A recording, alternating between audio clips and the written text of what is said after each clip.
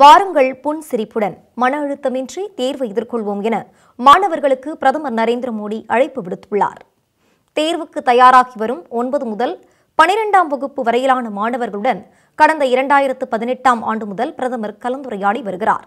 அந்த வகையில் இந்த ஆண்டு மார்ச் மாதம் இந்த கலந்துரையாடல் நிகழ்ச்சி நடத்த திட்டமிடப்பட உள்ளது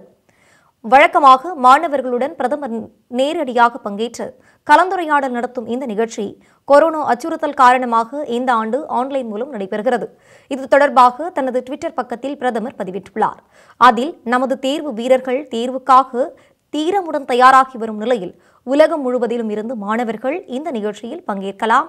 வாருங்கள் புன்சிரிப்புடன் மன அழுத்தமின்றி தேர்வை எதிர்கொள்வோம் என குறிப்பிட்டுள்ளார் மேலும் இந்த முறை கலந்துரையாடலில் மாணவர்களின் பெற்றோர் மற்றும் ஆசிரியரும் பங்கேற்கலாம் என்றும் குறிப்பிட்டுள்ளார் பிரதமருடனான இந்த கலந்துரையாடல் நிகழ்ச்சிக்கு அடுத்த மாதம் பதினான்காம் தேதி வரை மாணவர்கள் மை கோ தளத்தில் முன்பதிவு செய்யலாம் என அறிவிக்கப்பட்டுள்ளது